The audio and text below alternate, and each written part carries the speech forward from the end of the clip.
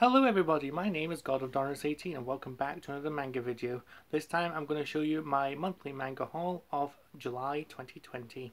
Now, in the latest news of relating to coronavirus or COVID-19, there's been more restrictions lifted.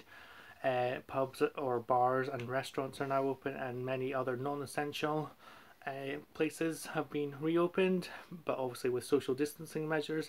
And also, one of the highlights of this sort of thing is the fact that my fiance, who I have been seeing for the past month or so, uh, because he lives apart from me, um, we are now able to no longer we don't need, no we no longer need to physically distance ourselves. So it is super super exciting and we're both really really happy that we're able to be close again. We're able to look like a real couple. And yeah we're happy. And uh, but our first minister which is like the leader of uh, of Scotland not the UK but the, the leader of Scotland in general the government she says that uh, restrictions will take a little longer for this phase because it is risky and I've seen like the risk maybe a bit too much at the moment uh, but not like significantly but it's a little bit too much as new cases have, have been slightly on the rise again.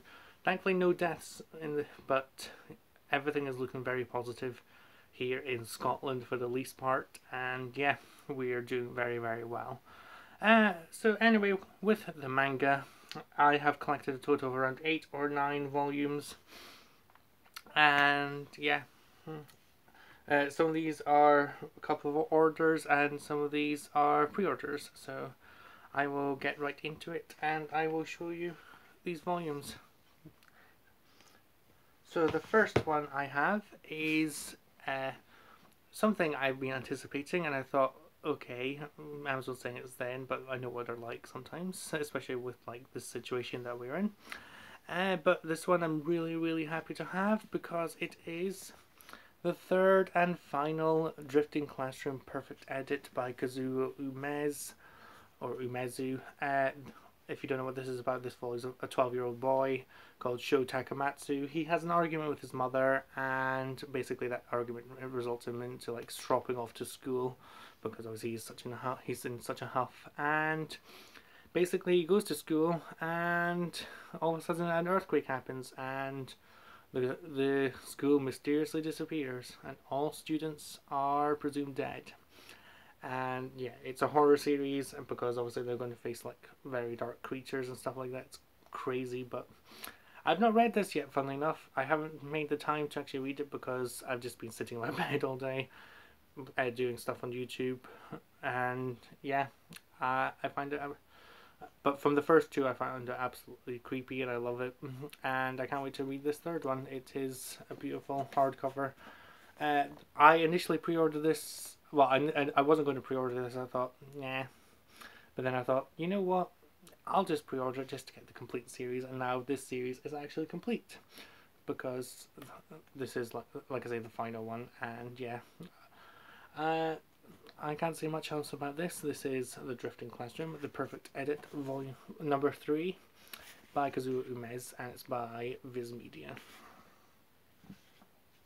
Okay, next is an unexpected one, and I was a little bit concerned when I ordered this initially, but it came perfectly fine. I'll explain when I show you this. And this is Alichino, Volume 3 by Kouyu Shurei. And I believe in the past couple of videos when I got the past other two volumes, I called this mangaka Kogu. As a mistake, it's Kouyu. So, yeah. Uh, the reason I was concerned about this because a few days after I ordered it and it was already shipped so I couldn't cancel it. Um, basically, uh, it said that it was the, the on Amazon. It said that this was rebound. I was like, oh, what's rebound mean? I looked it up. It's basically like a paperback to make look like a hardback in a way. So it's a hardback paperback in a way. It's confusing, but yeah, I was really concerned. But when it came, it was not hard covered. So yep, it's your standard one. And obviously, if you see the top there, it's a Tokyopop title. And you know I love me some Tokyopop titles.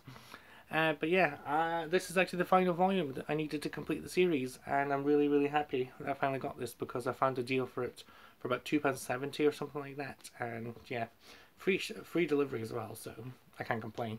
And I was going to get this um, between the 20 excuse me the 22nd or the 27th and of July obviously and I got on the 22nd so happy days I am like I say this is now complete. I don't know much about the series. From what I gather from the first volume it's about these beautiful creatures called Alichino and this, this boy or young man we'll see when I read it uh, called Tsugiri uh, comes across one of these and yeah and th there may be impending danger from these beautiful creatures. Dun dun dun. We'll see how it goes and yeah I'm super happy to have this like I say final volume of Alichino volume 3 by Kouyu Shurei and it's by Tokyopop Next up is another volume I wanted to complete a certain series and I'm super happy I'm going to I've actually completed this series because it wasn't that long a series and I had almost all the volumes as it was and I just needed that one volume but now I finally got it so here it is. Um, I have Juni Taisen Zodiac War Volume 4 by Akira Akatsuki, NISIOISIN and Hikaru Nakamura and you've got the obviously got this guy here. He knows a lot of clothing but that's okay I suppose. Uh, and just shows that the manga is essentially not for underage people, so to speak. But yeah, this was the final volume. I've already got the, the um, first three volumes. I've got one and two, like on this corner here. I've got three up here, but I finally got volume four. This is actually the final volume. Uh, I don't know much about this, but from what I gather as well from reading this, it's basically like human personified versions of the Chinese zodiac, and they go out in an all-out battle royale, and whoever wins gets a prize or something like that. I can't remember, but yeah, I don't know who this may represent. Maybe cat or rabbit. I don't, I don't know. I'll read it and find out. But yeah, this guy looks pretty uh, promiscuous with what he's wearing, but that's part of the fun.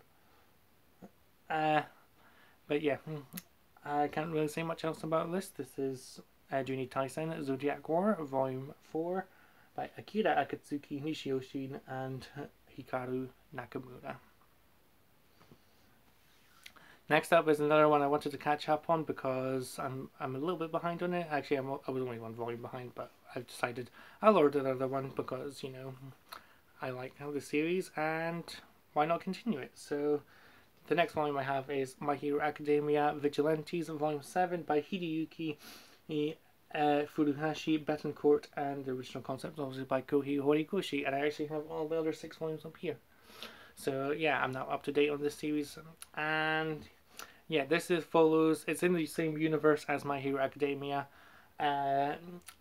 but it follows like these vigilantes who are not registered heroes, so they're basically villains and stuff like that. It follows uh, someone well, yeah, there is like a whole bunch of them, but it follows one main character. I can't remember his name on top of my head, but he he wants to become a hero, and then he because he has a he has a quirk, but he's not a registered hero, and yeah, hmm, he meets these other people that are like that, and yeah, it's a lot of fun, and it's almost on par to the original My Hero Academia, and it actually features characters from that series as well. But I'm not going to spoil it because uh, it's, it's spoilers, obviously, but yeah, it, it does contain characters from My Hero Academia because it is in the same universe, and yeah, I can't wait to carry on reading this. This is um, My Hero Academia Vigilantes Volume 7 by Hideyuki Furuhashi and Betten Court, and the original concept obviously by Kohei Horikoshi.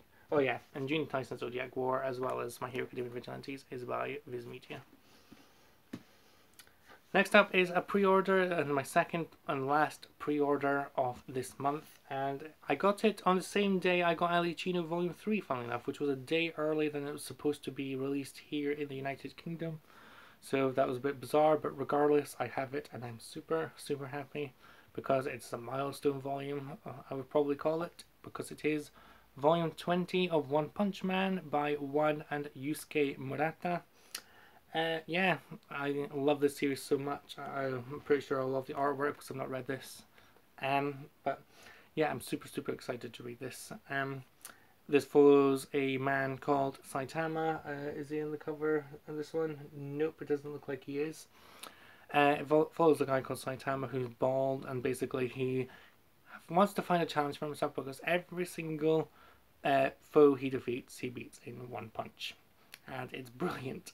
When I first when I got the first volumes of this, um, I thought, what that sounds ridiculous. But when when I started reading, it, I thought it was funny.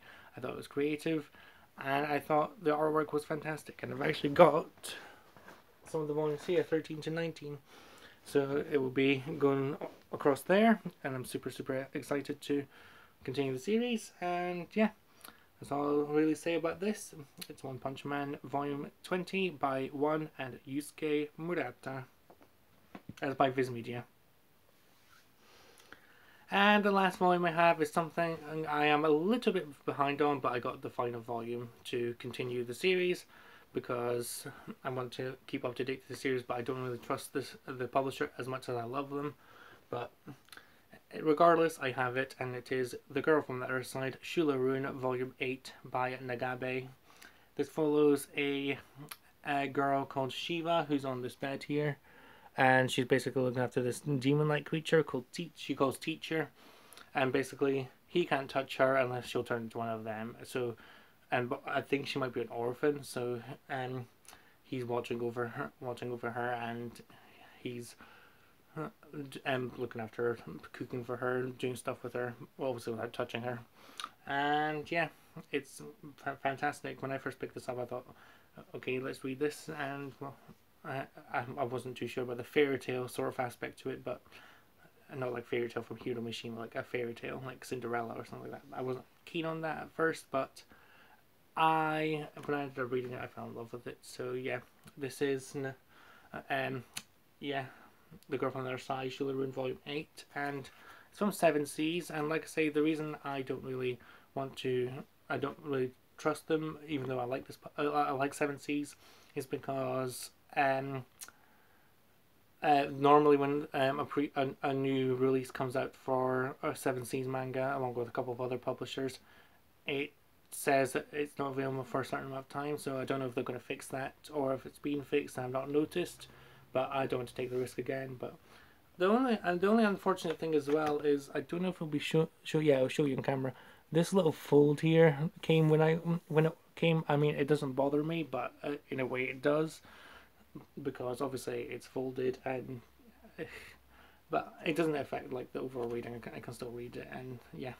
I can't wait to read this one because again. I've not read it but I I'm super happy to have this and finally be up to date to this series. And this is uh, The Girl from the Other Side Siúil, a Rún by Nagabe volume 8 and that is it. That is my manga haul for the month of July. I, and this is also, I should have also mentioned at the start, that it's the second half of the first month of the second half of 2020. And it's absolute madness that we're in this time. Because not long or around the time I put this up, it will be August. That is crazy. How is it almost the end of the year already? This year's been mad. It's been but I'm, I'm not going to go into that. It's still early days, but yeah. Thank you again for watching this video. I hope you enjoyed this and you enjoyed my manga haul. If you did, uh, subscribe for more manga content and I'm trying to get some more manga content out there. And also uh, comment some series that you want me to read. I'll try and get them, but my shelf is running low on space.